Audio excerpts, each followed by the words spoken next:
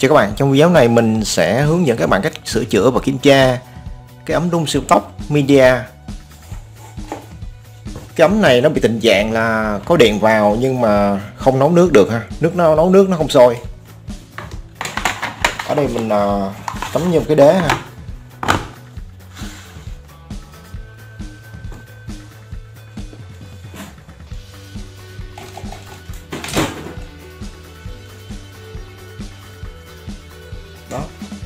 Mình bật công tắc nè vẫn thấy sáng đèn ha. Rồi. Mình chế nước vô.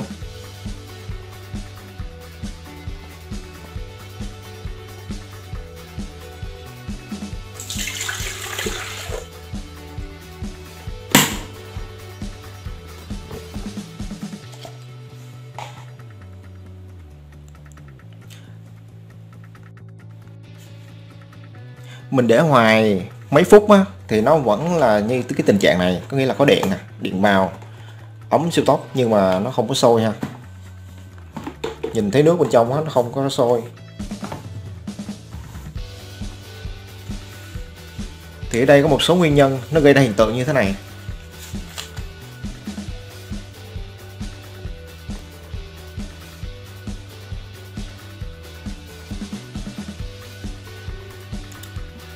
Mình nói nguyên nhân thứ nhất là nguyên nhân từ cái nhà sản xuất. Do cái linh kiện à, kém chất lượng á, hoặc là chất lượng linh kiện không đồng đều quá thì uh, trong một lô sản xuất cái uh, điện trở nhiệt á thì nó sẽ có một vài con là bị lỗi ha. Thì vô tình á mình mua phải cái con bị lỗi á. Mặc dù trước khi uh, xuất xưởng á nhà máy nó đã test ok. Tuy nhiên á cái vấn đề mà chất lượng linh kiện á, không có thể nói chính xác đây được. Thì một số linh kiện nó lỗi á, nó sẽ ảnh hưởng đến cái quá trình mà nấu nước sôi, nó không sôi ha. Chính xác ở đây đây chính là cái con điện giải nhiệt, cái trong cái mâm nhiệt. Cái vấn đề phần lớn mà gây ra cái hiện tượng à, cái ống đun siêu tốc á, có điện vào nhưng nấu nước không sôi á đó chính là do người sử dụng. Cái thói quen mà nấu không có nước một số người người ta quên đổ nước cho trong ờ, cái ống này nè. Nó sẽ gây ra cái hiện tượng làm cháy cái con điện trở nhiệt cái dây may so bên trong cái bông nhiệt. Hoặc là cái thói quen các bạn hay nhấn cái nút này nè, liên tục á. Nó vừa sôi mà mình cứ nhấn hoài á một phần nó cũng gây ra hiện tượng ha. Đó chính là nước nó nấu để cạn bên trong cái ấm. Mà mình không để ý á, mình cứ nó cứ nấu hoài á thì nó cũng gây ra hiện tượng cháy thì cháy nhiệt với meso ha bên trong cái bông nhiệt. Và ở đây mình ờ, tháo thử cái ống siêu tốc này ra.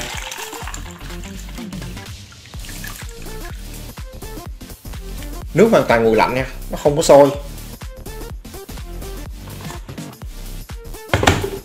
Mặc dù có điện bên trong này. rồi ở đây mình tiến hành mình ờ, tháo cái mâm nhiệt ra ra phía dưới cái này á mình thấy là có hang ốc lục giác ha. Rồi một con vít ốc ba ke thì mình uh, mở ra.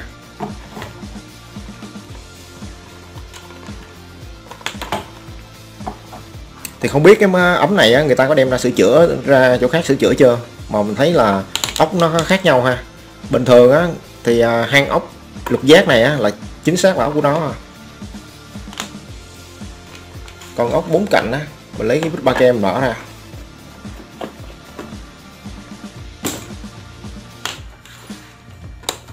Rồi tháo cái nắp dưới ra.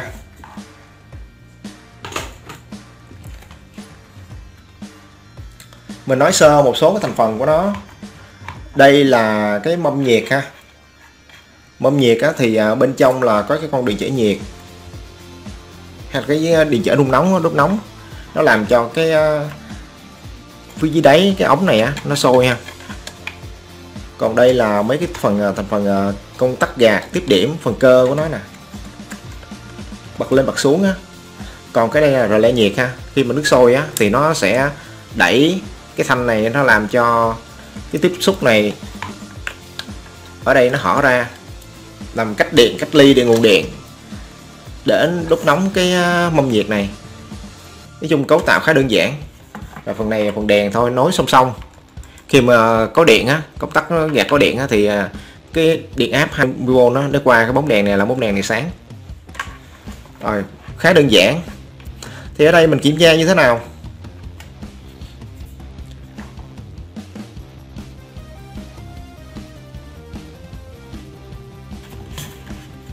Kiểm tra mấy cái công tắc gạt này nè. Coi có điện hay không ha. Ở đây mình à, dùng cái thang đo chuông ở cái đồng hồ số để mình kiểm tra thông mạch thôi. Khi mình chập hai que đo lại á, thì nó thông nó báo cho đó là thông mạch. Thì đây là hai cái thành phần à, tiếp điểm của nó ha. Khi mình nhấn xuống á thì nó sẽ đóng tiếp điểm có nghĩa là nguồn điện 220 từ hai cái chấu này nè nó sẽ cấp nguồn nung nóng cái mâm nhiệt này. Thì mình uh, kiểm tra một que mình uh, chích thử cái uh, cái phần con điện trở nhiệt bên trong mâm nhiệt á. Ở đây mình lấy một cái ngón tay út á mình chặn cái công tắc này xuống ha rồi mình giữ đó. Mình đo cái à, sự thông mạch giữa cái nguồn AC 220V đi vào cái mâm nhiệt này. khi mình bật công tắc thì nó đang sẽ đóng tiếp điểm ở đây nè. Từ hai cái mâm, hai cái chân của cái à, nguồn 220V cái đế nhiệt á, đế của ống siêu tốc sẽ đi vô hai cái tiếp điểm này và nó thông qua cái cuộn sợi dây này để nó nuôi à, cái mâm nhiệt. Thì mâm nhiệt đó yêu cầu á cái này phải thông mạch hết ha. Đó một đầu của mầm nhiệt á nó thông vào một cái vòng thứ nhất. Còn cái đầu còn lại á nó sẽ thông với vòng thứ hai. Đó. Đây. Như vậy là cái thành phần mà cái công tắc cấp nguồn cho cái mâm nhiệt này là ok ha. Cái này mình chưa kiểm tra được uh, relay của nó ha tại vì khi mình nấu nước sôi á thì nó nó relay nó sẽ ngắt. Còn này mà nước nó không sôi nên mình kiểm tra cái phần đó tới sau. Thì ở đây, tiếp theo thì mình kiểm tra cái à, con điện trở đun nóng bên trong cái mâm nhiệt này. Mình đo tổng trở. coi nó nhớ bao nhiêu ôm ha. Mà ở đây mình chắc chắn là à, nó bị đứt rồi. Tại vì mình quan sát một số cái dấu hiệu của nó. Đây nè. Ở đây mình có cái điện áp của cái bông nhiệt này là 220V mà cái công suất của nó là 1800W ha. Nó ghi trên cái thanh nhiệt này đây các bạn dùng cái mắt thường á mình quan sát thấy cái vòng nhiệt cái này nè. Nó bị uh, cháy đám đen ở đây nè. Rồi mình dùng cái ờ, VOM mình chỉnh thằng đo diode ha mình đo cái à, tổng chở của nó coi cái à, điện giải nhiệt để còn hoạt động không đỏ hay không?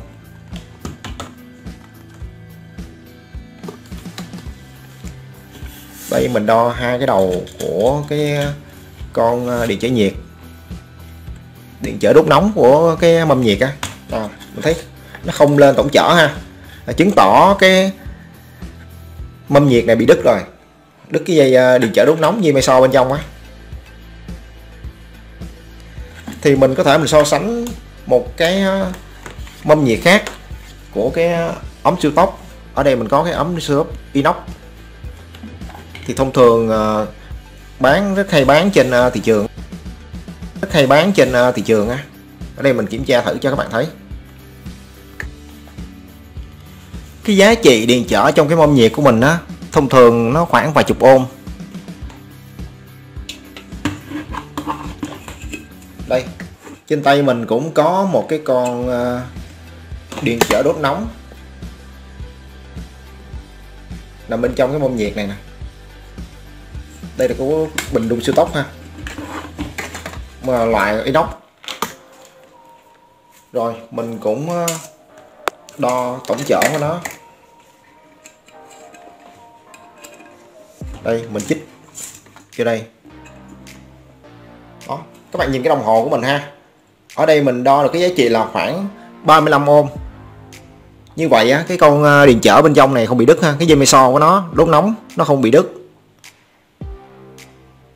Nó luôn luôn à, có một cái giá trị tầm à, vài chục ôm á. Ở đây mình đo được 35 ôm còn đối với con điện trở bên trong cái mâm nhiệt này á thấy đây, mình đo được không ôm ha. Có nghĩa là nó bị đứt rồi.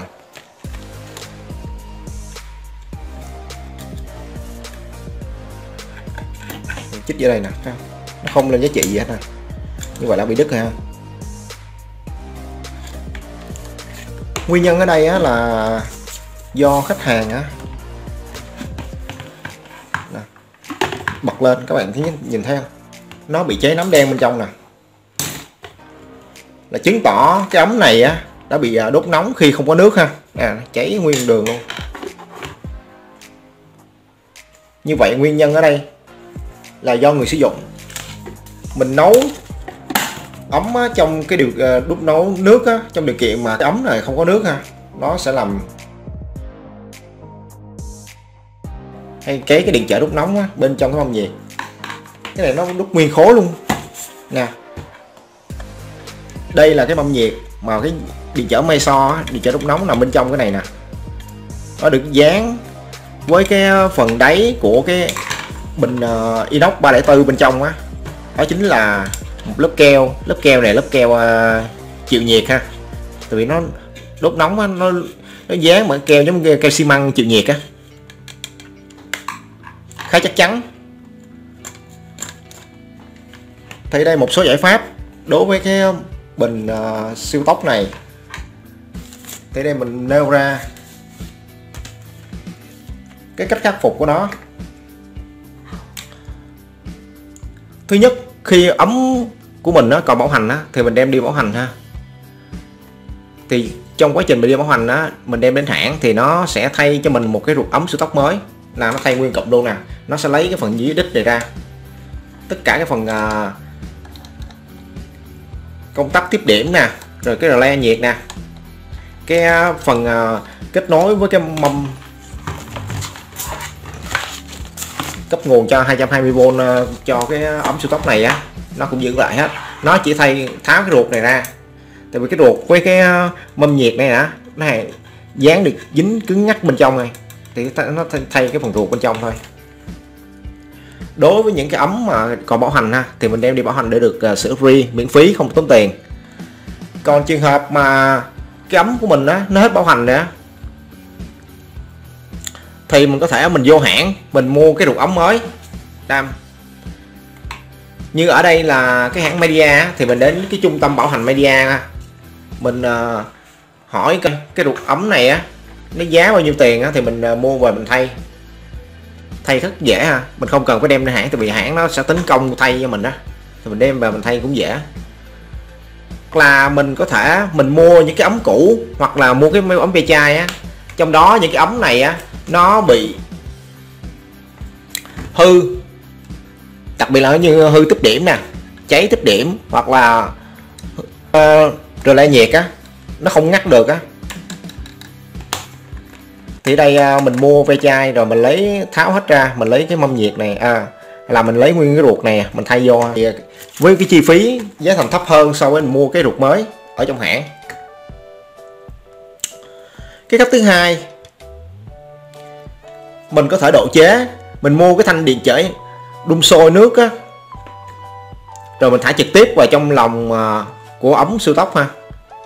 Thì bên ngoài thị trường á, nó sẽ bán một cái thanh điện trở đốt, đốt nóng này thì đối với những cái ấm mà thế hệ đầu tiên á thì nó sẽ có cái điện trở đốt nóng này là, là thanh mà lò xo á. Nè nó uống công uống công cái này à. Rồi ở đây phương pháp của mình đó là mình à, cắt cái phần à, hai cái đầu à, uh, 220V nè mình vẫn giữ nguyên công tắc ha. Rồi mình có thể mình luồn dây điện á mình đi ra ngoài nè. Nẹp sát theo cái tay cầm và mình thả trực tiếp vào trong. Thì ở đây mình sẽ không thông qua cái mâm nhiệt ở dưới đất, mà mình à, thả trực tiếp cái thanh của nó, thả vô cái lòng ống luôn. Rồi mình đi dây cho khéo sao á, để cho nó, thứ nhất là không được chạm điện ha, cái thứ hai á, là nó vẫn đảm bảo được thẩm mỹ khi mình à, sử dụng ha. Thì cái đó mình tận dụng lại cái uh, lòng inox 304 trong nè để mình uh, tiếp tục mình đun nấu ha. Trong cái trường hợp mà mình không tìm được cái ruột của ống siêu tốc để mình thay thế. Còn cái cách uh, thứ ba đó mình phải đục cái mâm nhiệt cũ. Mình dán keo á keo này là keo chịu nhiệt ha. Dán giống như nó đen đen giống như xi măng á là cái chiều nhiệt tốt ha dán cứng ngắc rất chắc ha. Và hoặc là mình có thể mình chấm hàng.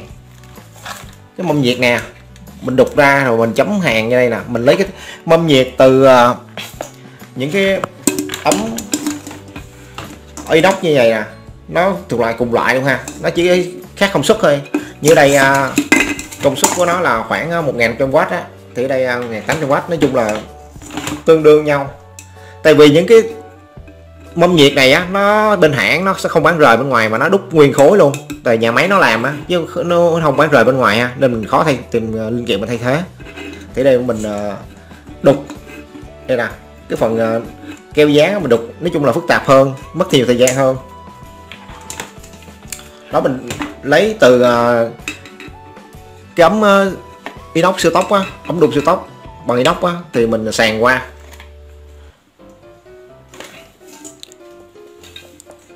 Nếu á, mình có cái keo mà keo uh, chịu nhiệt á và chắc chắn á, thì mình uh, vô. Hoặc là mình uh, có thể lấy uh, cái mấy hàng điểm á, mình tích uh, hàng hàng chặt vô đây nè. Thì đây nó cũng uh, tiếp xúc nó ép sát. Miễn làm sao cho nó ghép ép sát cái uh, mâm nhiệt này vô cái đế phía đáy của cái thành inox 304 cái ruột bên trong á. Cái vấn đề này hơi phức tạp ha. Tại vì à, mình nói cho các bạn à, hình dung ra. Chứ một số các bạn mà đem ra, ra ngoài thợ sửa một á là người ta sẽ trả về. Thứ nhất là do không có linh kiện ha. Cái thứ hai á là người ta không có ruột để thay ha. tại vì người ta báo giá người ta sẽ báo cho các bạn là thay nguyên cái ruột luôn chứ người ta không có thời gian đâu người ta đục. Lấy cái mâm nhiệt này rồi người ta đục cái mâm nhiệt khác rồi người ta gắn lại hàng lại ha. Phần người ta sẽ báo giá nguyên cái ruột này luôn các bạn sửa bên ngoài hay là sửa bên hãng thì người ta cứ báo dán cái ruột này nha tại vì cái này khó làm ha. Nó làm làm ở trong nhà máy nó có keo chuyên dụng nó làm. Thì đây là một số cái cách khắc phục và cái giải pháp để các bạn có thể sửa chữa lại cái ấm siêu tốc đã bị hư ha.